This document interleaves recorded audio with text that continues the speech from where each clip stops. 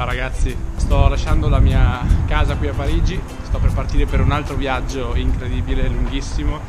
Penso che sarà uno di quei viaggi che veramente entra negli annali. La prima destinazione sarà Dubai, poi da Dubai, solo per una sosta in realtà, poi da Dubai si va a Hong Kong, da Hong Kong si andrà poi in Vietnam, prima a Hanoi e poi alla baia di Halong, poi dal Vietnam si andrà in Cambogia. In Cambogia andremo poi a scoprire quelle che sono le famosissime rovine e poi da lì per finire in Thailandia. In Thailandia dove andremo a Bangkok, chiaramente poi in qualche isola, però lì è ancora tutto da decidere, quindi vedremo come andrà. Cosa che ancora mi interessa ancora di più è che per fare questo super viaggio dovrò prendere uno degli aerei, anzi l'aereo per portata di passeggeri più grande al mondo, ovvero l'Airbus A380. Sono curiosissimo di prenderlo e poi condividerò con voi la mia esperienza e vi dirò com'è veramente stare a bordo su un gigante dei cieli del genere.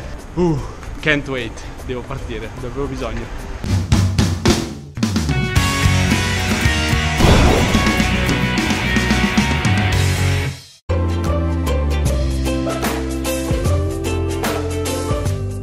Una parte del viaggio che ancora oggi mi esalta sempre tantissimo è quando devo prendere l'aereo.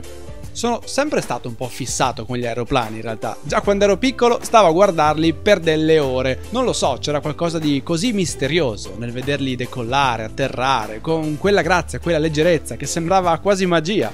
Ma devo dire che anche oggi, dopo aver preso decine di aerei, prendere il volo non mi lascia affatto indifferente. Ed oggi tra l'altro ho un motivo in più per non esserlo, perché ho scelto il volo appositamente per salire su un vero e proprio gioiello della tecnologia.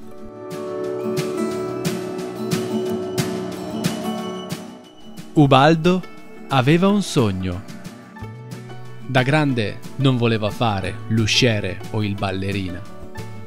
Voleva solo smetterla di viaggiare come un barbone e salire sull'aereo più grande del mondo. Certe cose non si possono comprare. Per tutto il resto c'è Emirates.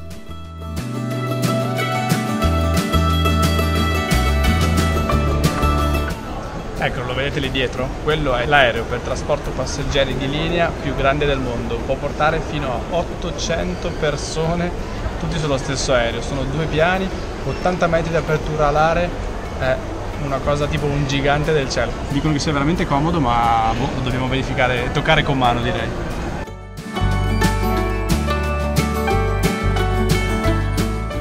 In realtà, come primo impatto, sembra di salire sul normale grande aereo da transoceanica.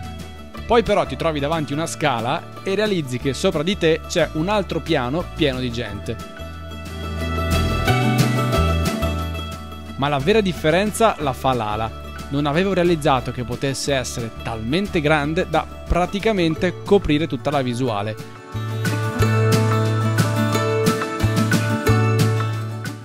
Del resto è largo quanto un campo da calcio, con i suoi quattro potentissimi motori Rolls-Royce che compiono il vero miracolo, ovvero far decolare un bestione che pesa più di 500 tonnellate. Ah, per vostra informazione, se volete comprarlo costa circa 220 milioni di euro, chiaramente poi da scontare se fate degli acquisti sostanziosi. Qualche chicca di bordo? Oltre ad avere un dignitosissimo spazio per le gambe, che poi evidentemente aumenta ancora se avete la fortuna di essere spostati sulle uscite di emergenza, come mi è capitato al rientro, ogni finestrino ha i bordi in radica, molto molto low profile Ma la cosa che mi ha fatto sbiellare di più è la possibilità di scegliere le telecamere per guardare fuori. Non solo le classiche due posizionate sotto e davanti, ma ce n'è addirittura una messa sul punto più in alto, sulla pinna. Questa vi permette di vedere l'aereo in tutta la sua grandezza. No, vabbè, geniale. E cammina cammina, è arrivato il momento del decollo. No dai, veramente, questo coso non può volare. Come fa ad alzarsi? E invece lo fa, eppure con molta eleganza e molta tranquillità. Sembra addirittura che stia seguendo due rotaie, visto quanto è stabile. Se siete sulle ali potete veramente dormire sonni tranquilli.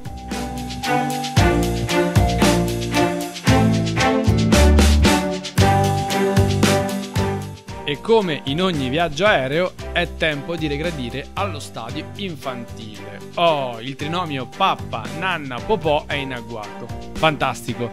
Iniziamo con la pappa, c'è addirittura il menù. Certo che così alzate l'aspettativa, eh? Beh dai, il cibo non è male per stare a 10.000 metri di quota. Ci sono anche una cheesecake e addirittura le tic tac monodose. Che lusso!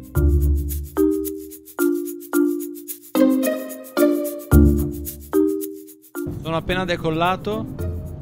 Devo dire che non posso urlare perché c'è molta gente che dorme. Però il volo è stato. Il decollo è stato incredibile, veramente. Super stabile, nessuna percezione di vuoti d'aria o altro.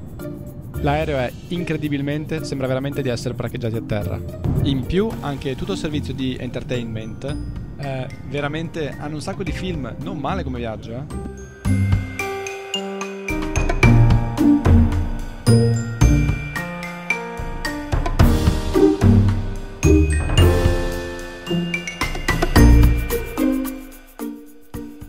Così tra film, cibo e riposini il viaggio passa rapidamente, fino a che inizio a vedere il deserto sempre più vicino, che poi diventa una città.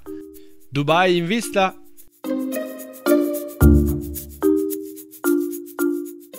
L'aeroporto ha un numero incredibile di questi mega aerei, tanto è che gli aerei normali sembrano dei giocattoli a confronto.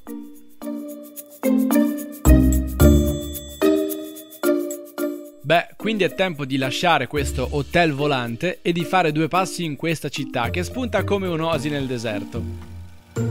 Arrivato a Dubai, come dire, l'aeroporto è qualcosa di spettacolare, sembra di stare mm, in un luogo, in un luogo, in un luogo Disneyland, centro commerciale, tutto insieme. Al prossimo video allora e mi raccomando iscrivetevi al canale e piazzate anche qualche like che fa sempre piacere.